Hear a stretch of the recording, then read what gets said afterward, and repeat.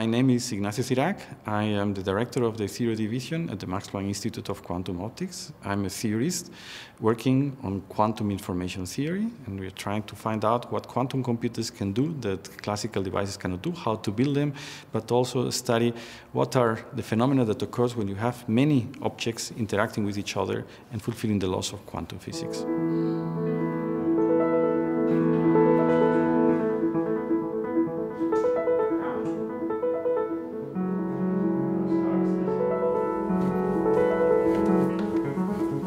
Quantum is the theory that describes in physics the microscopic world of the things that are the smallest things. And one of these small things are photons, which is uh, particles of light.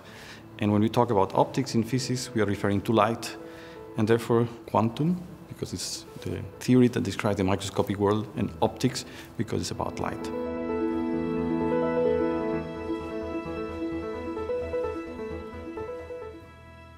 Entanglement. That's a word that was taken to quantum physics by uh, Schrödinger many years ago. And it's the basic feature that makes quantum physics very different from any other theory that we have in physics. The first thing that you have to do in order to understand entanglement is to understand just the basic uh, question about uh, quantum physics. Otherwise, it will be impossible to understand entanglement. So the first principle of, of quantum physics is that the properties of objects may not be defined. Okay, so that's a very deep uh, uh, sentence and with a lot of meaning. So we are used to say that any object that we have around us has all the property defined, independent of whether we are looking at it or not. When I say uh, the moon is there, then it's there independent of whether I'm looking at it or not, right? In quantum physics, in this macroscopic world, that's not true. So the properties of objects are not defined or cannot be defined or may not be defined when we don't observe. So when we say that an atom is there because I'm looking at it, then it's there. But when I don't look at it, it's not there. And it's not that I don't know where it is, is that it has not defined still these properties. So the world that we don't see has not defined properties.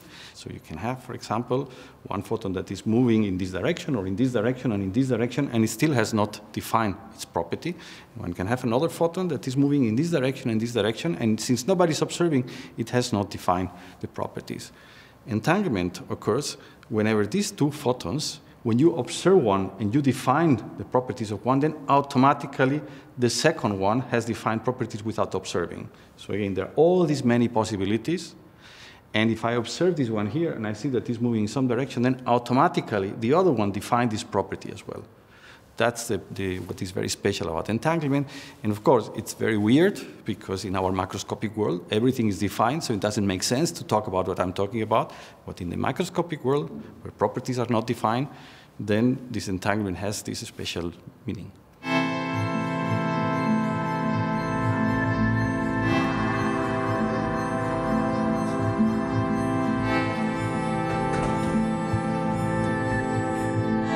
In principle, every piece of matter or of light or of force, anything that is described by the laws of quantum physics, can be entangled with some other particle that fulfills also the laws of quantum physics. In order to display this phenomena, it's very important that it's isolated because there are so many degrees of freedom that are entangled with each other that at the end you don't see anything and it behaves very normally.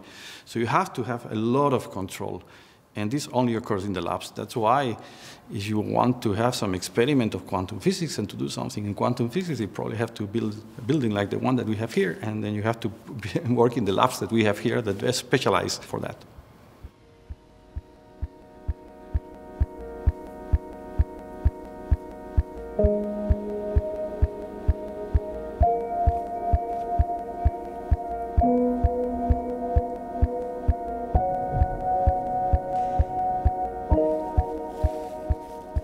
Quantum physics tells us that nature and whatever is surrounding us is very different from what we thought to be.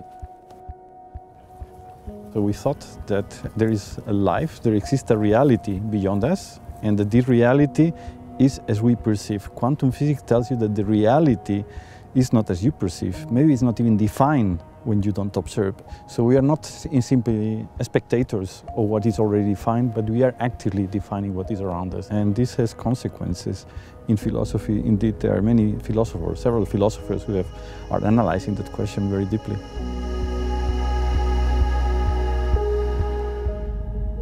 Quantum physics is 120 years old. It took a while, 30, 40 years, in order to develop at the level that we understand it. But at that time, even the theory existed, uh, the experiment did not exist. So even people were arguing that what I'm saying about this definition of properties and so on, that it could not be true, that nature was not like that. And it took about 80 years or 100 years in such a way that people had the possibilities to do experiments in the lab under the isolation and the conditions in which these properties arise. And these experiments took place in the last 20, 40 years. And they said now that, okay, so we have crossed a frontier because we are now able to exploit some properties that nobody else exploited in the past. And if you look at history of science and technology, whenever it was able to cross a frontier and to have access to that and control of that, then there were many applications. And that's what is happening now in the field of quantum physics.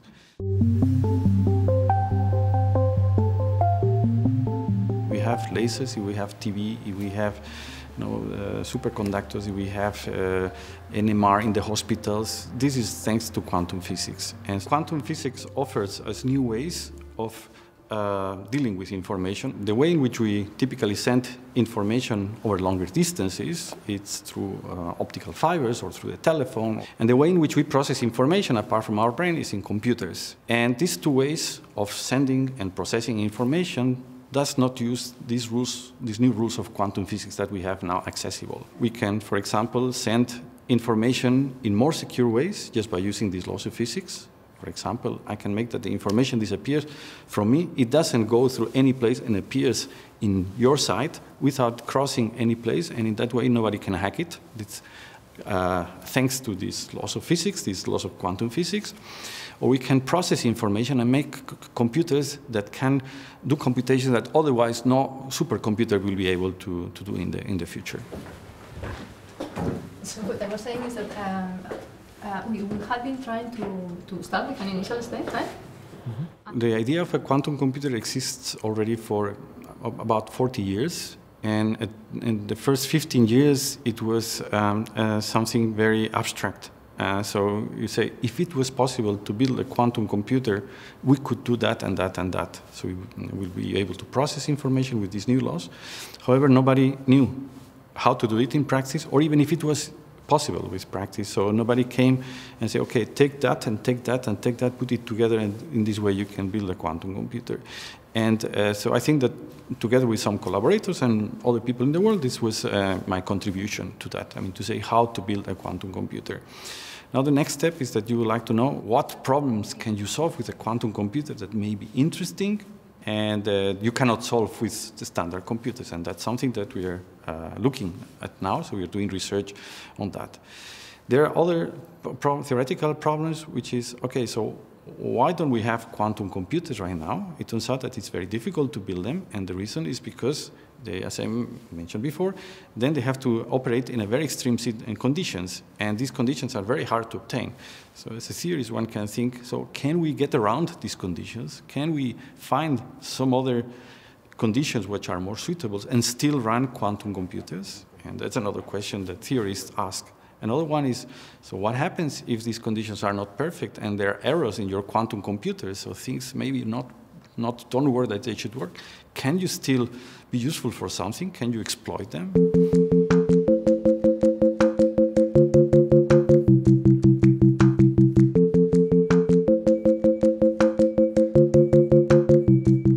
Group and our institute offers is an atmosphere that is very special, that is very hard to find in some other way. I mean, apart from being intellectually very high, it's surrounded by some of the experts, world experts in the field, and with the best equipments that we can find in the world, probably. This intellectual environment does not only allow you to solve some, say, interesting problems that people have uh, thought that they are interesting, but other, uh, uh, something that is more important is to create problems and to see that there are some other questions that can be answered. And uh, that happens through collaborations. So we talk to people and then we discuss. Then you really have to sit down and to think about that, try yourself, think for a couple of days, and then come back and again bounce it back to somebody and see what is the face that is having with your ideas. And why I like it is because I like a lot uh, mathematics, I like uh, philosophy, and I also am somebody who likes applications. I like that something can be used for society, and this quantum physics combines all three, and I think that there are not many others that combine all three.